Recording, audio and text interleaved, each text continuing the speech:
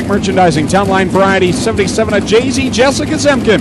And in the back row, out of Fort Erie, Ontario, in the 94Z, the Service Master Dixon Auto Body, Zenkin Truck and Trailer, car number 94Z is Stan Zenkin.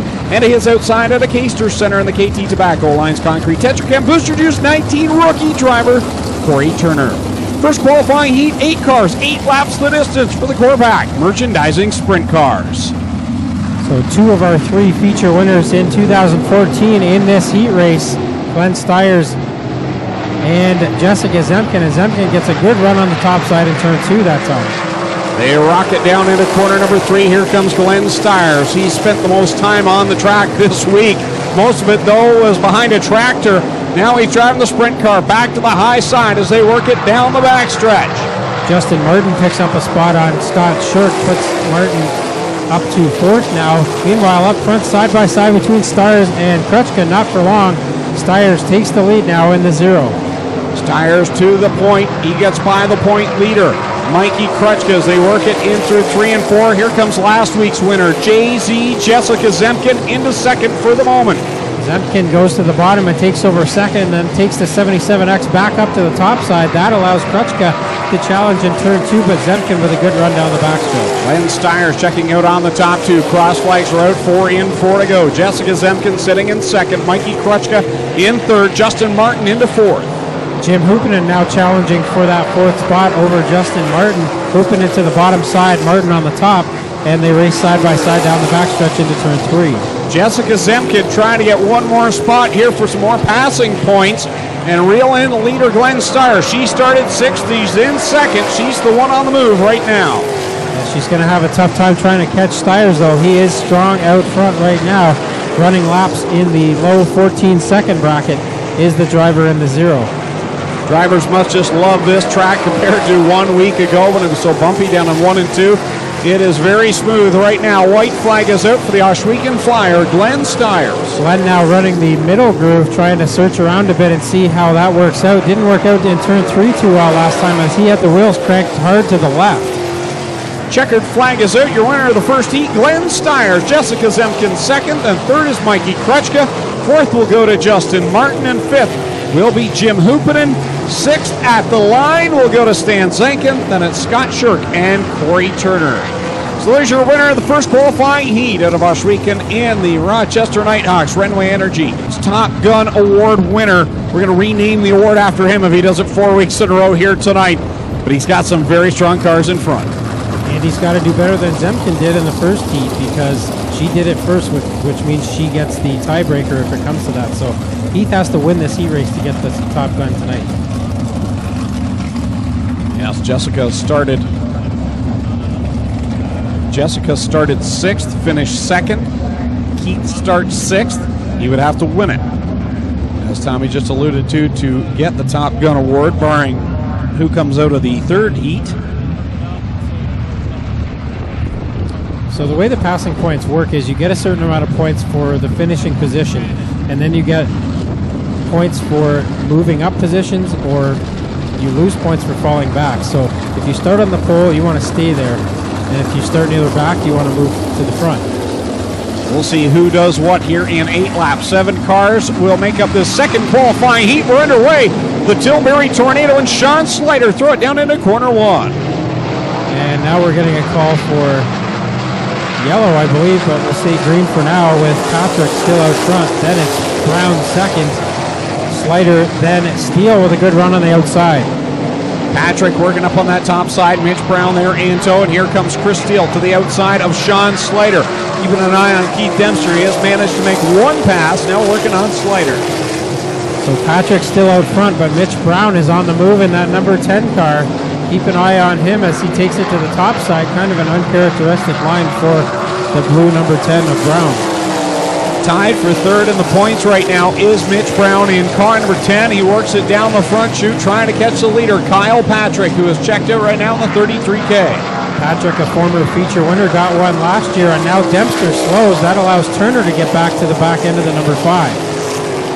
So Kyle Patrick sees the cross flags that time by. Four in, four to go here in this second qualifying heat for the Corpac. Merchandising sprint cars. Mitch Brown sitting there in second, Chris Steele in third.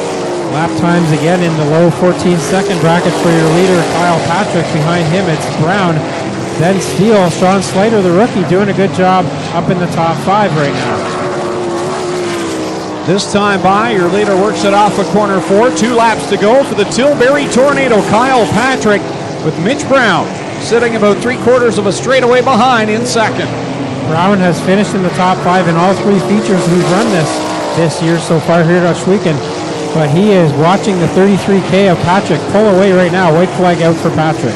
One more trip around for Kyle Patrick. Tomorrow night, he'll take the wings off down to the South Buxton Raceway the Ontario topless sprint, but off a corner four.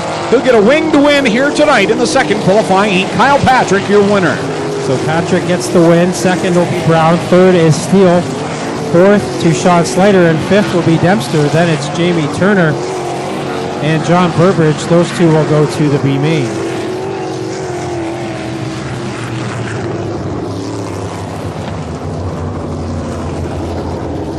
So your winner out of Tilbury, Ontario, and the McKinley Electric, Patrick Weldy. Car number 33K, it's the Tilbury Tornado. And in his first race, rookie driver to Thamesford, Ontario, on the Vipon, Deller Carn, Rickling Brothers Trucking. Car number six, it's Curtis Gartley. Seven cars, eight laps the distance, the final qualifying heat the Corpac, Merchandising Sprint Cars. Well, here we go, third and final heat race. Three number five cars in this one, a total of four number five cars here tonight and Hoddick will get the early lead. Here comes Hughes now with a good run down the backstretch. Hughes jumps into the third spot, now making a charge on the 5C of Connor Mahoney on the outside, but here comes Brad Malloy back to the bottom. Keeping an eye on that number 10J of Jeremy Hughes gets better each and every week as he tries to get a run on Malloy down the backstretch. Hoddick is taking off out front. Here comes Dave Dykstra now looking down to the inside of Jeremy Hughes, trying to make it three fives in a row there. At the front, though, Todd Hoddick leading this one. Hoddick with one of the fastest laps of the night so far that last time by 13.826 for the driver of the 49. Hoddick is your leader across the stripe. In second will be Brad Malloy in the 5M. Then it's Connor Mahoney in third.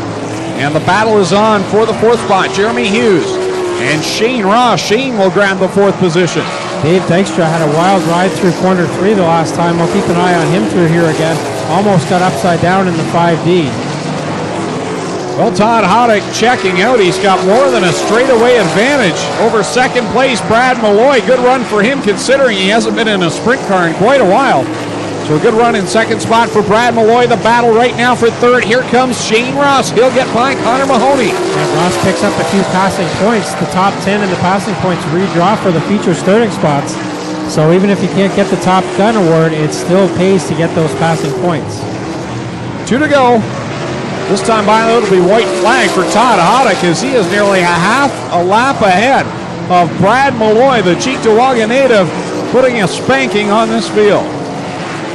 Hoddick has been close to feature wins here already in the last few weeks, and I think we're going to see the 49 be very strong tonight as he comes around and gets the heat race win. Second, as he finally comes around here, will be Brad Malloy. Third will be a fast closing Shane Ross. Then it's Connor Mahoney at the line for the fifth spot. It will be Dave Dykstra. Then Jeremy Hughes.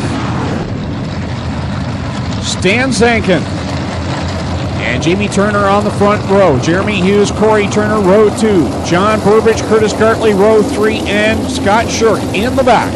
Coming to the green flag, the final five tickets to be punched into the A main happens now. So here we go with Turner and Zankin leading us down into turn one. Two grooves there, bottom and top. Gartley in the number six doesn't look like he's been out here the first time as he gets around the 43 of Shirk. Here comes Jamie Turner. He's your leader of lap number one. Nine to go in this B main for the Corpac Merchandising Sprint Cars. Stan Zankin sitting in second, Corey Turner in third. Then it's Burbridge and Hughes, the final two in transfer positions. So Turner putting up a gap on Zankin now. Then it's Corey Turner third. Fourth is Burbridge.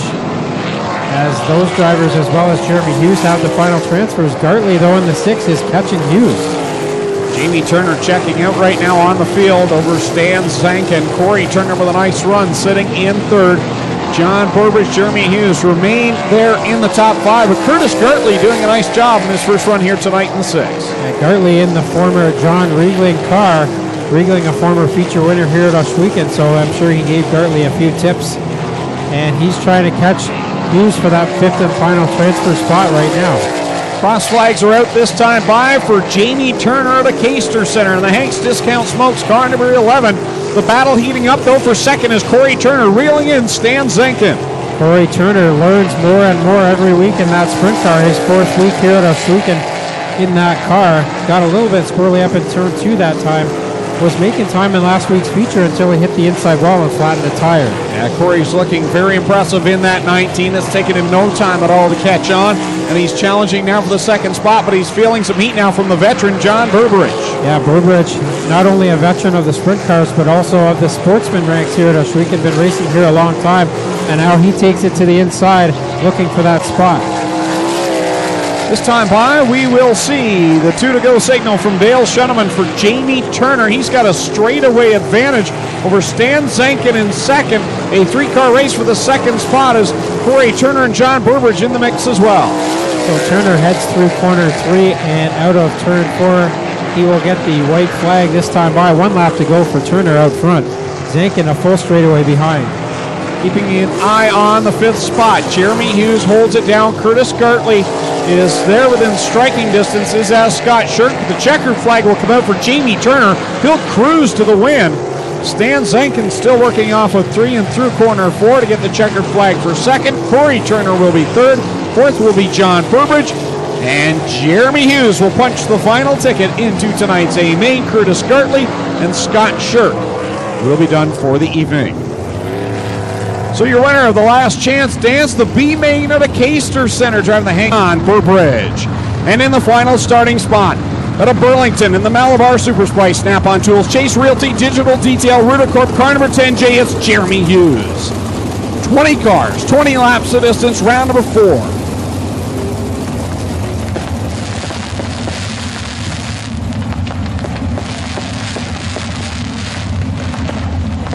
All right, Ohsweken Speedway on your feet and wave these drivers on.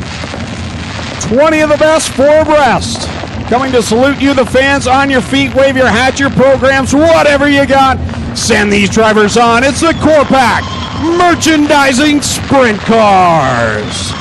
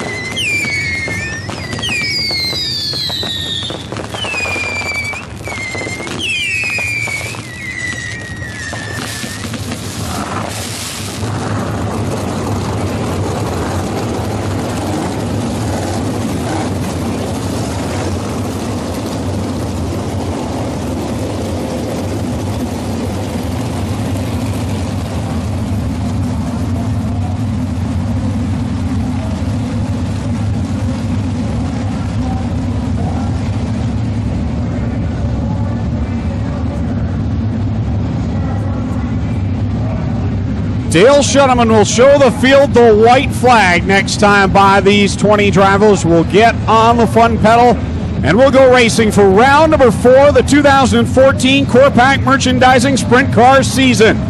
Three races so far, three different winners. Will we see our first repeat or another new face? We'll find out in 20 laps. Two by two, 10 rows of beautifully prepared sprint cars ready to come to life. Chris Steele, Glenn Stiers on the front row. Ladies and gentlemen, you came looking for a show. Well, here you go. Let's end all the anticipation as we bring to you our feature presentation. So here we go, a pair of 2014 feature winners on the front row. Steele on the inside, Styres on the outside. Steele tries to slide up, but Styres will take over the lead down the backstretch. Glenn Styres very quickly to the point, but here comes the real deal. Chris Steele in his tire tracks. Two drivers at the front already with feature wins here in 2014. So Styres has the early lead. Steele second. Malloy with a good run on the bottom now in the 5M, and here comes Patrick and Mitch Brown in the top five again. Brad Malloy, impressive run here tonight. First race back in a year aboard that 5M, running in the third spot, showing no signs of rust at all. Malloy doesn't run here all that often anymore, but when he does, he's always a threat. And now he falls back a bit. Patrick to the outside, trying to take over third from Malloy. Chris Steele holding down the second spot, but here comes the Tilbury Tornado to the outside of Brad Malloy. Malloy has a spot for a moment, but Patrick back to the outside, trying to grab third away. So Styres has a 1.8 second lead right now over Chris Steele as Patrick and Malloy still fight over that third spot. Patrick not able to gain much on Steele right now. Wow, Glenn Styres bobbled a lot up in corner three that time, caught a rut up around the berm there, and he gathers it back up, but he did lose a little bit of time that time around to Chris Steele. Right now, the top side is the fast way around Malloy, the only driver in the top five trying to run the bottom and that's not working out well to his advantage right now as Styres catches the tail end of the field. Yeah, Styres will work around John Burbridge in the 21J, up around the top side in corner number two. He'll clear him very easily. Next car in line will be Connor Mahoney in the 5C. So Styres puts a lap on Burbridge, and now heavy traffic is going to be in front of Styres, including a pair of cars side by side, Zankin and Mahoney that last time. Styres works to the outside of Mahoney, now catches the back end of the 94 of Stan Zankin, and Zankin running a little higher up, so it's going to be harder for the leader Styres to get by Zankin. Steele has gained a little bit on Styres in this traffic, but still Styres have about a half straightaway lead. Steele is second, then it's Patrick. Then you go back another straightaway to Brad Malloy and Mitch Brown.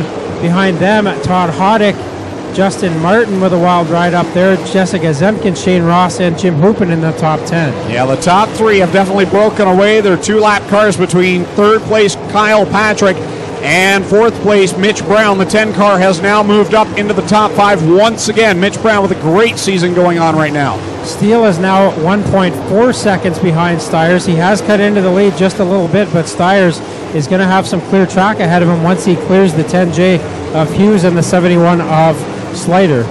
Nine more laps to go for Glenn Styres in the zero, looking for his second win of the season. He won on opening night. He'd like to grab another. He's second place in the points coming into tonight. Kyle Patrick is working as hard as he can to try to get around the 80 of Chris Steele, still up there fighting for that spot, and a bit of smoke out of the 33K the last time through corner four. Here comes Kyle Patrick down to the inside of the real deal. Chris Steele, the Tilbury Tornado, shoots by. He'll grab the runner up position as there are now just seven laps to go.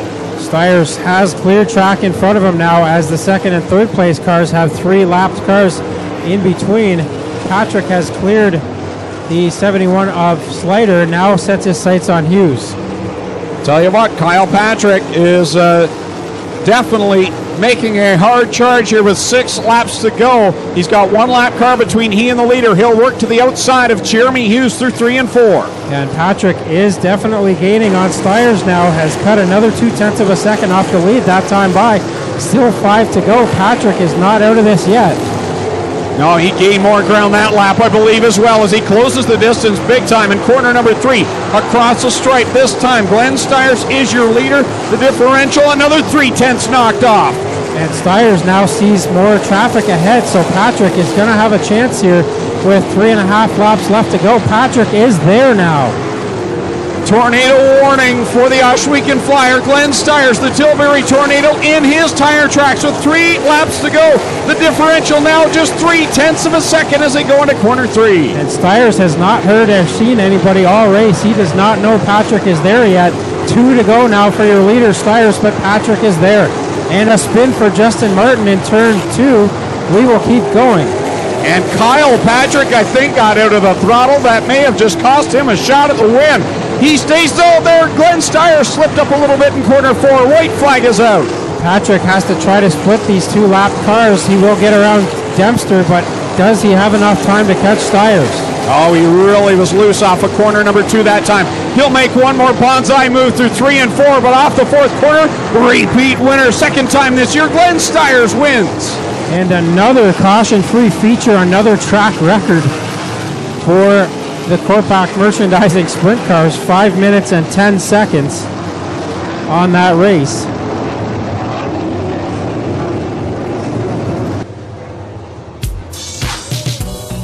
So Styres with the win. Second, Patrick. Third is Steele. Fourth, Zemken. Fifth is Mitch Brown. Sixth will be Todd Hoddick. Seventh, Jim Hoopinen. Mikey Krutchka. And eighth, Dave Dykstra. Ninth, Shane Ross rounds out the top ten.